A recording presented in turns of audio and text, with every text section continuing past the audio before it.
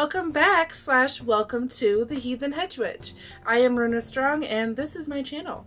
And on my channel, we like to talk about things like paganism, witchcraft, mental wellness, and everything kind of underneath all of those umbrellas. And today I'm going to be talking about one of my favorite holidays to celebrate as a pagan and a witch, and that is Beltane. So if Beltane is something you are interested in chatting about, please keep watching. As always, I've got my notes here, so if I'm looking down at anything, I'm just checking to make sure I don't miss any information. Please feel free to get yourself a snack, a drink, and a little something to toke on, and let's get into the video.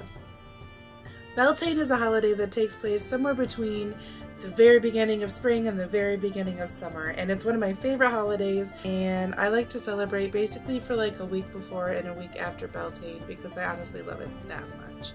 I know. I know, but it is what it is. I love this part of the year.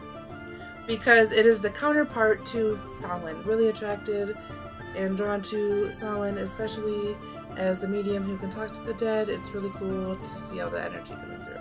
And I get a similar feeling with Beltane, but instead of the energy of the death coming through, it's the energy of life.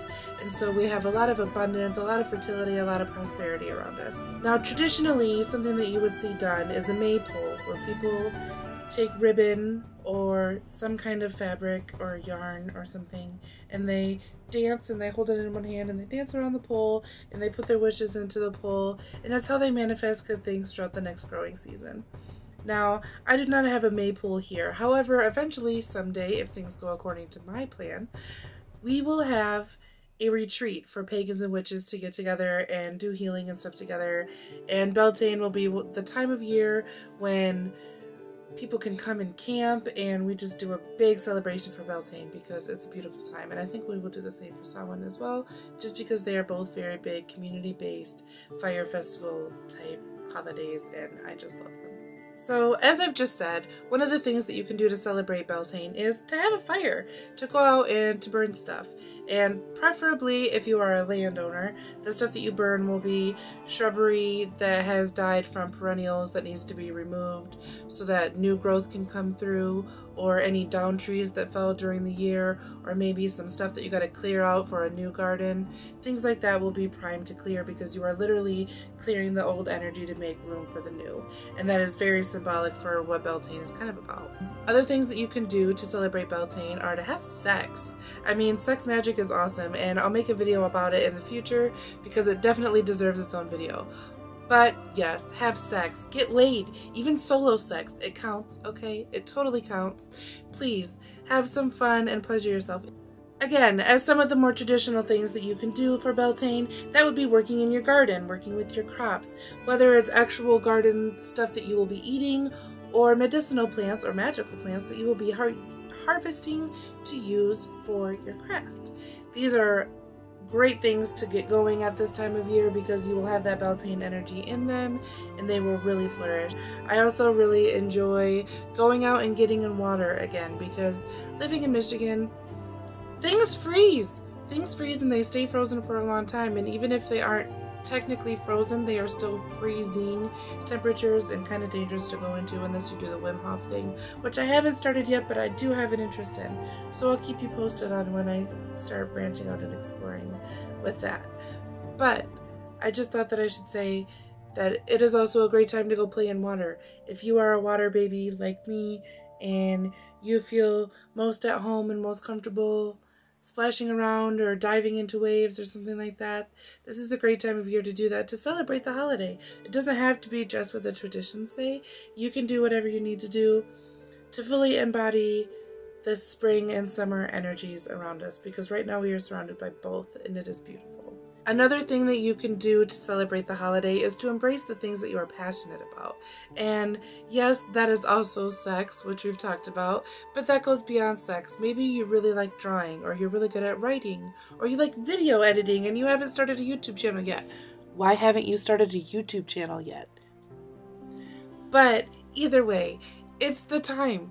Now is a great time to start new projects and to get your foot in the door on them. And will you be perfect at the start? No, but it's a learning opportunity and you will grow and you will be thankful for this time. Taking those steps and really setting out to do what it is that you're passionate about. The fire energy. I'm telling you, fire element is strong through Beltane. It is so prominent in fire results to creativity and it also results to quick action. So if you like doing fire spells, whether it be candles or burning your petitions, something like that, throwing stuff into a fire, now is a good time to do that kind of magical work as well.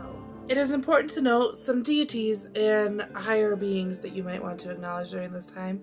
Definitely the Fae, if you are the type to work with the Fae, and also the Vanir, if you are a Norse pagan, or Bel, the Celtic god, or anything like that. Any, like I said, any gods or goddesses that work with abundance, that work with prosperity, that work with fire, like Loki, he is a good one to honor this time of year as well because Beltane is fire energy, Beltane is creativity, Beltane is passion, and that is all Loki too.